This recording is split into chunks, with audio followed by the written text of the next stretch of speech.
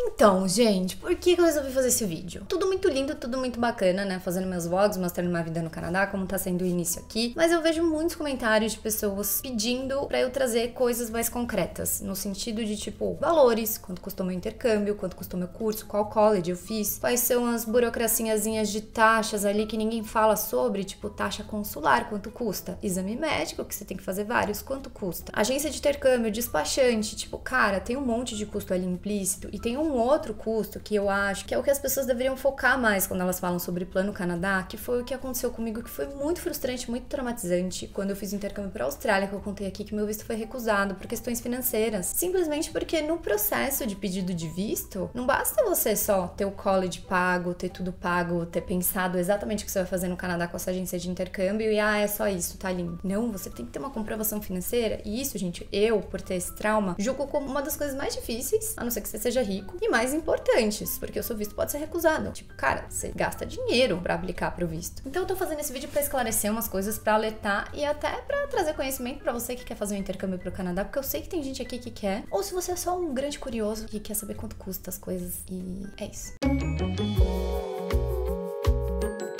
Ah, muito importante de falar, talvez a coisa mais importante. Eu tô gravando esse vídeo no dia 27 de março de 2023. Se você tá assistindo esse vídeo há 10 anos no mundo pós-apocalíptico, onde nem existe mais o plano real, onde os Estados Unidos dominou o mundo e, sei lá, os ETs invadiram a Terra, e nada disso fizer sentido, não precisa vir aqui comentar e falar que tá tudo errado e que não é esse valor. Gente, tipo, vejam as datas das coisas. Eu tô falando isso porque o meu primeiro vídeo aqui, há, sei lá, 5 ou 6 anos atrás, onde eu falei quanto eu ganhava, o meu salário na Emirates quando eu era comissária de bordo, até hoje tem gente comentando falando que, é, que eu sou uma grande mentirosa, que o salário não é esse. É, dez anos depois, as coisas mudam, o mundo muda. Sei, achei importante falar isso aqui, sei. Então, sem mais enrolações, qual foi a primeira coisa que eu fiz quando eu falei, pera, tá decidido, vou estudar no Canadá, vou viver no Canadá e o Canadá é o meu futuro. Eu entrei em contato com a minha amiga, que já mora aqui há sete anos, e falei, Bibi, me passa o contato da agência de intercâmbio que você fez o seu plano Canadá e que, enfim, te ajudou com esse processo, por favor. E ela me passou o contato da Experimento Morumbi. Esse vídeo não é publi, não tem nenhuma publi aqui. Eu tô falando para vocês porque eu sei que vocês vão perguntar qual agência que eu fiz foi Experimento Morumbi. E é uma agência ok, ótima, não tenho nada de reclamar com eles. Por que que eu escolhi uma agência? Sendo que eu falo inglês, sendo que eu teria total capacidade de entrar em contato direto com o college, de aplicar pro meu visto, fazer tudo. Porque eu sou uma grande preguiçosa e porque eu tenho déficit de atenção, TDAH. Eu não confio em mim mesma para fazer essas coisas mais burocráticas e muito detalhadas, tá? E também uma coisa muito importante é que eu sou uma grande mão de vaca e eu sei que as agências de intercâmbio têm contato com as escolas, seja de que país você está indo estudar, seja na Austrália, no Reino Unido, aqui no Canadá. As escolas normalmente entram em contato com essas agências de intercâmbio e oferecem promoções. Então o meu curso, ele teve um grande desconto, porque eu comecei a ver ele prospectar com a agência no final da pandemia, finalzinho de 2020, começo de 2021. A primeira reunião que eu tive FaceTime foi em 2020, que eu tava morando no interior ainda, com uma das pessoas da Experimento pra tirar dúvidas, né? Então imagina, tipo, eu chego lá e falo, beleza, eu quero morar no Canadá, mas e aí, né? O que, que eu tenho que fazer a partir de agora? Tipo, qual college? Quais são as opções? Eu não conheço os as escolas no Canadá e as agências já sabem porque elas trabalham com isso o tempo inteiro. Elas estão mandando pessoas o tempo inteiro, elas estão recebendo propostas das escolas aqui do Canadá dizendo: "Ó, oh, tem um curso novo aqui na minha escola, a gente tá oferecendo essa promoção aqui para você trazer alunos pra gente". Que foi o que aconteceu comigo. Eu tinha as minhas exigências, então eu não queria, por exemplo, fazer um college público no Canadá, porque diferente do Brasil, um college público aqui é mais caro, apesar dele ter os seus benefícios, que é o PGWP, que é uma permissão para você trabalhar depois que o curso terminar terminar, que é muito bom para quem planeja emigrar. Então, agência de intercâmbio, por que é importante? Para você tirar essas dúvidas. Você quer emigrar? Você quer só estudar, ficar um tempo e ir embora pro Brasil? Você quer fazer um college público, um college privado? Quanto de dinheiro você tem? Porque o college privado é mais barato, mas ele não dá o PGWP, que se você quiser emigrar é mais importante. Enfim, para você tirar todas essas dúvidas, que é burocráticozinho, até porque quando você faz a aplicação, você tem que fazer uma carta de intenção para explicar o porquê que você quer fazer esse curso no Canadá. Não adianta você só pagar o curso falar, uh, tá pago o voo. Não, pô, a imigração quer saber se isso faz sentido com a sua vida, né? O que, que você estudou? Você é formado em alguma coisa? Qual foi sua carreira? Com o que, que você trabalha hoje? Porque, gente, eu sou formada em comunicação, fiz publicidade e marketing, apesar de eu ter criado esse canal com foco em aviação, essa foi uma parcela muito mínima da minha vida. Minha vida é marketing, publicidade, criação de conteúdo pra internet, edição de vídeo, e eu sou totalmente desse mundo, do mundo da comunicação. E eu vim estudar algo relacionado a isso, porque para eles não ia fazer sentido nenhum eu vim aqui estudar agrofloresta, estudar, sei lá,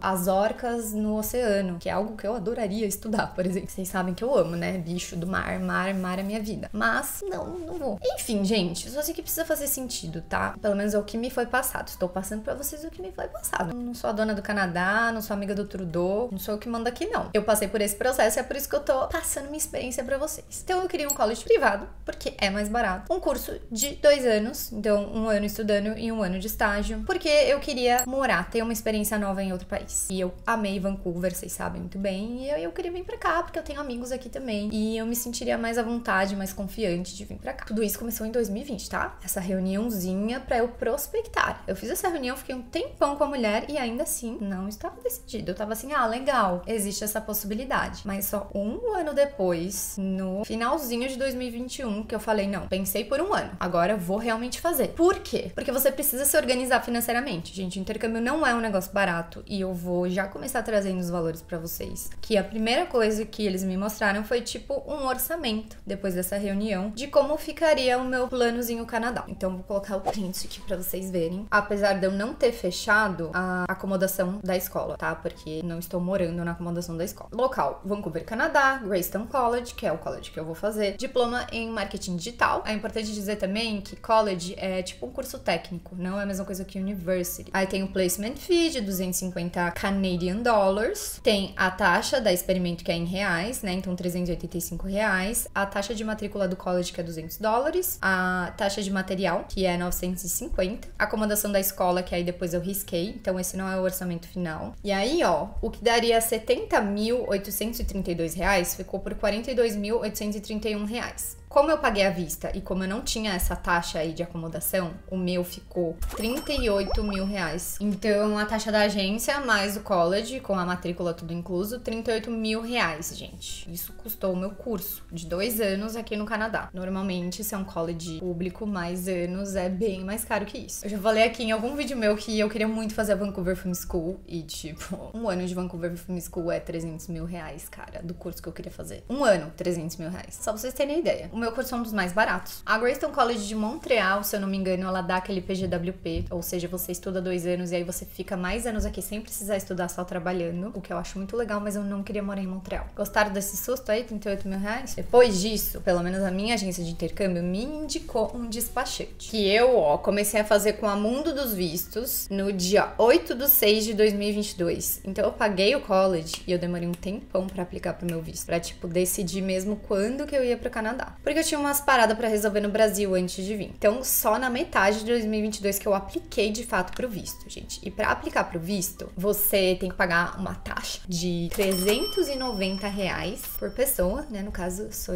solamente eu. E aí eles te passam uma lista bizarra de documento. Documentação pessoal, eles vão pedir aquela cartinha para explicar o porquê que você quer vir pro Canadá, o porquê que você quer estudar nessa escola, tem que fazer sentido. Diploma de faculdade, um monte de comprovação financeira, extrato dos três últimos meses da sua conta para provar que você tem dinheiro para se manter no Canadá pelo menos um ano. Tudo que você tiver de vínculo no Brasil. Então, se você tem emprego no Brasil, vai vir para cá, mas vai fazer trabalho remoto. Se você tem propriedade no Brasil, casa, apartamento, enfim, carro, tudo você tem que comprovar. Olerite, imposto de renda, exames médicos. E aí vem a parte mais chata, que você tem que fazer tradução juramentada de todos esses documentos e não é barato. Só pra vocês terem uma ideia, essa assessoria, eles tinham tradução juramentada junto, assim, tipo, eu podia fazer por eles ou eu podia fazer por mim, né? Pesquisar valores mais em conta, mas eu vi que os valores deles eram muito real, assim, do mercado, então acabei fazendo com eles mesmo. Então, ó, documentos da viagem, 90 reais. Documentos de estudos no Brasil, 90 reais. E documentos financeiros, 1.710 reais. A gente vai somar tudo isso aí no final, tá? Guarda, guarda. Aí, depois que você faz isso, eles te pedem exames médicos. Com um médico credenciado mesmo lá do consulado canadense. Então, você tem que achar uma listinha no site do consulado, ver qual que é mais perto de você. Normalmente são só nas grandes cidades, então tem gente que tem que viajar, tipo, até São Paulo. Aí você você vai no médico, que é tipo um consultório mesmo, aí ela vai ver seu coração, vai mandar você fazer xixi no pote, vai mandar você ler as letrinhas lá pra ver como tá a sua vista. Um examezinho rapidão. Aí você paga. Meu foi 600 reais. À vista, assim, ó.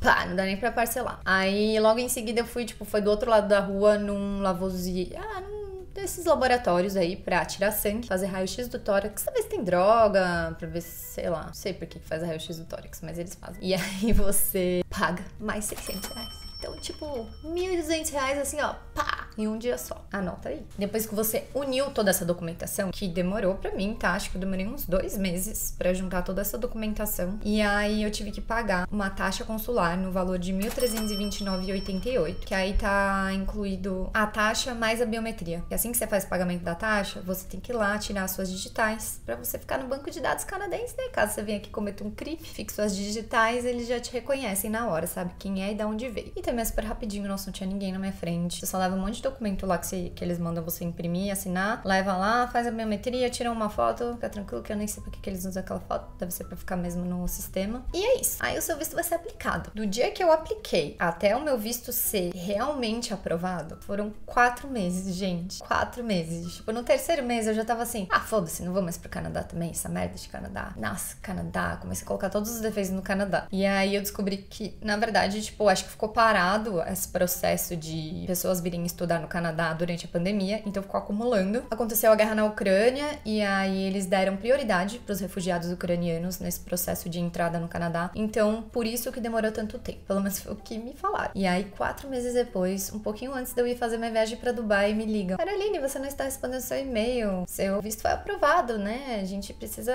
agora que você traga seu passaporte o mais rápido possível pra gente colocar o visto lá, carimbar tudo certinho. E eu, amores, tô indo pra Dubai amanhã. Quase que eu não fui para Dubai, mas aí eu fiz meus cálculos lá, dava para eu voltar de Dubai no dia certinho, sem precisar mudar passagem e correr pro consulado entregar meu passaporte e eles carimbarem, deu tudo certo. Vocês estão vendo que eu tô ficando com voz de doente, né? Pois é, bebe, bebe, sai. Você tem o quê? Você tem 18 anos, né? Vou ficar doente. Vocês anotem, tá? No próximo vídeo. E aí, gente, uma dica muito importante, tá? Muita gente, quando aplica o visto, já compra passagem. Já fala, ai, ah, tá, a previsão aqui é dois meses? Então eu já vou comprar passagem para dia X. Muito cuidado. Primeiro porque seu visto pode ser recusado por qualquer motivo que eles quiserem. Se você colocou uma vírgula errada, recusei porque essa vírgula tá errada. E aí você perde a passagem que não é barata. Então não cometa esse erro de comprar passagem. A gente compra passagem depois. E aí vocês vão perguntar, quanto foi sua passagem? Eu paguei eu quis fazer também, muito importante é lembrar, que não existe voo direto de São Paulo para Vancouver. Existe voo direto só de São Paulo para Toronto. Então você tem que fazer escala. E aí existem vários meios, com várias companhias aéreas diferentes. Eu quis ir pela Air Canada porque eu sabia que eu ia levar muita mala e eu não queria fazer qualquer tipo de escala que fosse mudar de companhia aérea e me obrigassem a, sei lá, eu estar tá no México e eu ter que pegar as minhas malas no México e fazer check-in tudo de novo no México. Não, eu queria, tipo, despachar as minhas malas em São Paulo e só pegar em Vancouver. Isso quer dizer que quando eu estiver em Toronto, a galera mesmo da companhia aérea ia ficar encarregada de tirá-los de um avião e colocar no próximo avião que eu ia embarcar de Toronto para Vancouver. Então, eu quis ir pela Air Canada, que foi um pouco mais caro. Eu fui inclusive de Economy Premium, que tem direito a duas bagagens, eu levei quatro malas, gente. Isso quer dizer que eu paguei muito excesso de bagagem. Eu não aconselho vocês, tá? A levar mala, mas leva só o que a companhia aérea pediu, sei lá, se vira. Se vira. Eu não, eu não sabia como me virar, por isso que eu paguei excesso de bagagem. Mas se você puder, leva só o que eles estão pedindo, porque é muito caro, tá? Excesso. E aí eu paguei na minha passagem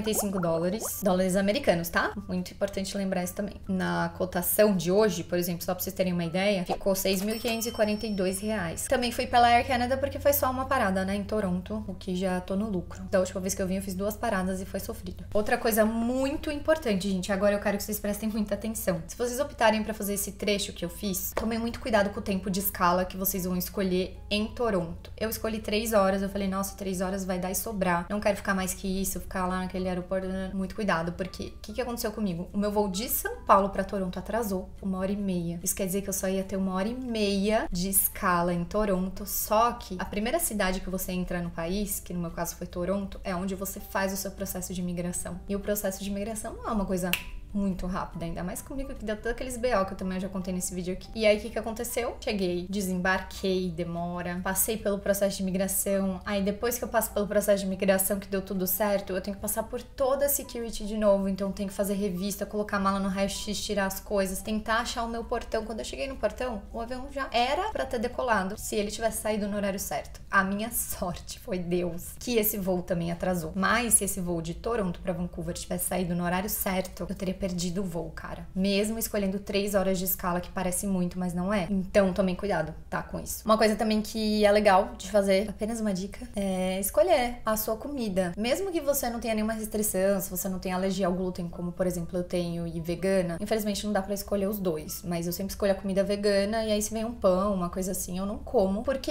a comida vem antes dos outros passageiros. Eu me sinto muito especial quando isso acontece. Como que você faz isso? Depois você compra a passagem, você vai lá no Manage Your Booking, gerencia gerenciar lá a sua reserva e você escolhe. Tem lá para você pagar para escolher assento, não precisa pagar para escolher assento, mas você pode escolher a comida especial se você tem alguma restrição, pessoas que têm diabetes, pessoas que têm qualquer tipo, não sei. Na Emirates tinham várias, eu não sei como é nas outras companhias aéreas, mas é legal. E aí vamos somar tudo? Ó, agência de intercâmbio mais college, 38 mil reais, assessoria de visto mais taxa consular, 1.719,88, traduções juramentadas, 1.890, exames médicos, 1.200, ai que ódio dos exames médicos, passagem aérea, 6.542,85. Muitos asteriscos aqui, que eu comprei só a passagem de ida, tá? Muitas agências, tanto de intercâmbio quanto a assessoria de visto, indicam que você compre ida e volta, porque no processo de imigração, quando você chegar lá, pode ser que eles peçam a sua passagem de volta. Eu resolvi arriscar, porque eu falei, mano, eu vou voltar daqui dois anos, não dá nem pra comprar uma passagem para daqui dois anos. Você vai ter que comprar aquela passagem mais cara, que te dá direito de mudar a data, e eu não quis. E eu ia explicar isso pro cara da imigração, ainda bem que ele não me perguntou. Total,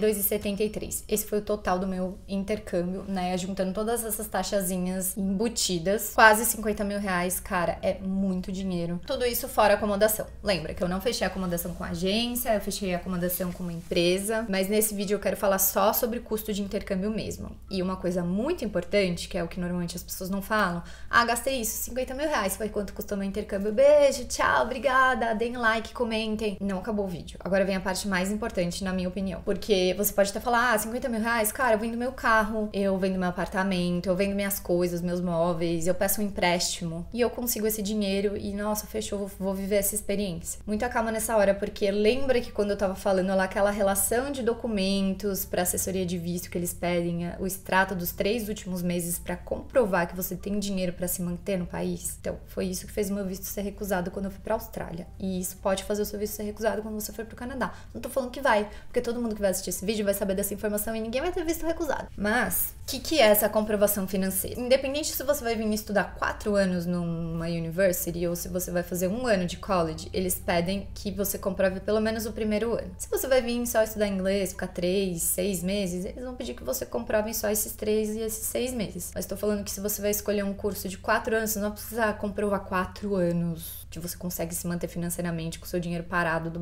calma. Não. Pelo menos um ano. Hoje, 20, 27 de março de 2023. Pode ser que no futuro mude. Então, qual que é o valor? Quando eu apliquei pro meu visto, era entre 1.500 dólares e 1.800 dólares por mês. Então, vou chutar no mais, né? 1.800 vezes 12 meses, um ano, dá 21.600 dólares. Não é reais, dólares. Quer saber quanto é isso em real? Espero que você esteja assistindo esse vídeo sentado. Falta até ar.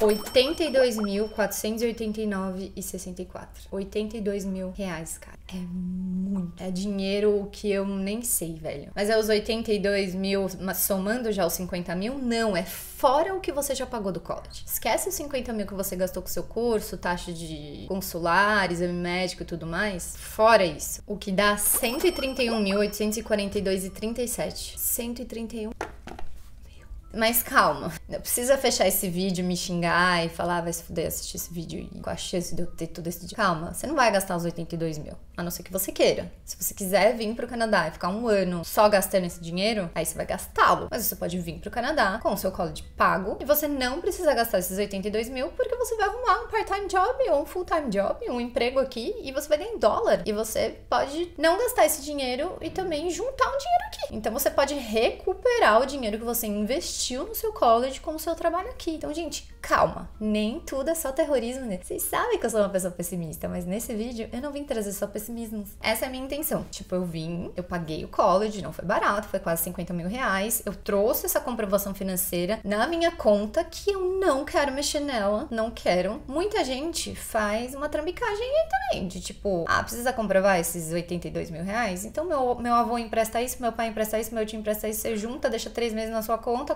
comprova e você vem pra cá. Às vezes eles pedem na hora da imigração, tá? Lá, os extratos renovados para saber se tá tudo ali ainda. Mas você pode devolver o dinheiro depois. É permitido fazer isso? Obviamente que não, mas tem gente que faz. Eu não fiz porque eu não resolvi arriscar. Então, pretendo trabalhar aqui e recuperar esses 50 mil que eu investi no college. Porque é um investimento, gente, né? Você tá gastando. Você tá investindo num conhecimento, numa experiência, em aprendizagem, num diploma novo, sempre tem a agregar. Então é super possível você recuperar esse dinheiro aqui. Calma, você não vai mexer nesse dinheiro que você tem que comprovar. É só uma segurança, porque tem muita gente em vários países que vai e chega com 200 dólares no bolso. Tipo, não tem como. A vida no Canadá é bem cara. No começo, você vai usar esse dinheiro. Eu tô usando agora no começo, porque eu não posso trabalhar ainda. Eu só vou poder trabalhar, da... começar a procurar trabalho daqui a um mês, né? Não tenho garantia também de que eu vou achar trabalho no primeiro dia que eu for procurar. Então você tem que pensar muito bem isso. E vir preparado, eu vim preparada para ficar um ano sem precisar trabalhar, caso aconteça, tipo, uma coisa que não sei lá, cara, porque eu prefiro me precaver. Mas é isso.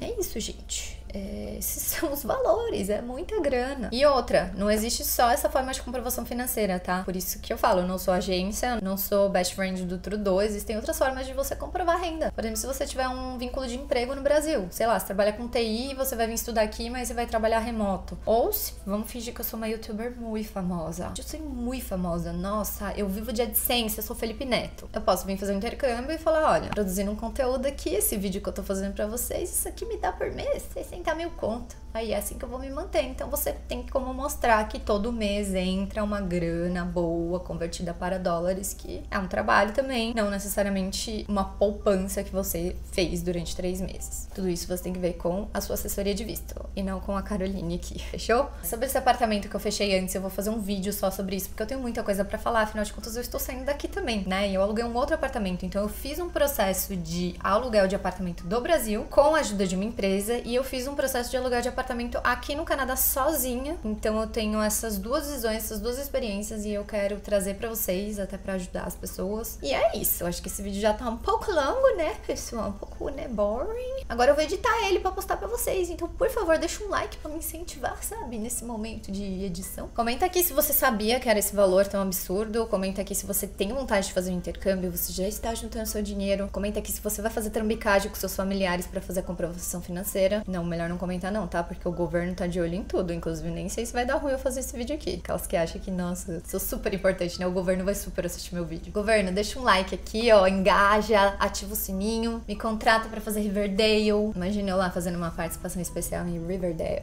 Não custa sonhar. Estão me permitindo sonhar aqui no Canadá, mas isso é assunto para outro vídeo. E é isso, gente. Obrigada por terem assistido até aqui. Um beijo e até a próxima.